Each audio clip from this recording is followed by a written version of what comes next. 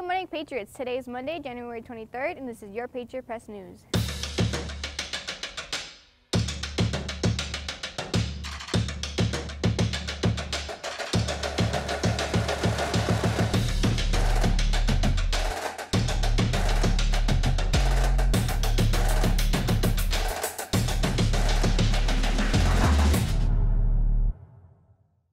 My name is Jessica Romero, and here are today's announcements. Congratulations to Drama Club on the successful first weekend of their black box performances of The Glass Menagerie.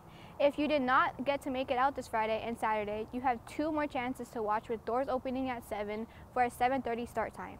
Tonight, make sure you make your way over to the gym as our wrestling team celebrates their senior night at their last home match. The festivities start at 4 p.m.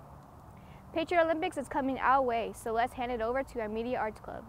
Hey Patriots, I'm Genesis. And I'm Reese, and we are part of your Media Arts Club. We are excited to announce the return of our Patriot Olympics, which is an event that will take place on March 24th.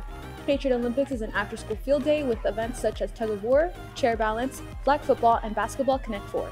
You can form your own teams of teachers and students and compete in some friendly competition. Registration starts today until March 2nd. Check your email for additional details. If you have any questions, email Mr. Countor. We, we hope, hope, to see you there. Hey Patriots!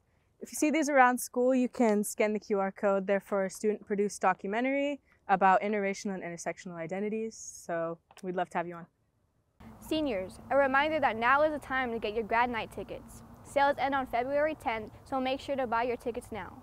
Also, for those seniors that pre-order their panoramic picture, you can head to the student store during lunch to pick it up. That's all our announcements for today, Patriots. Have a great day, and we'll see you tomorrow.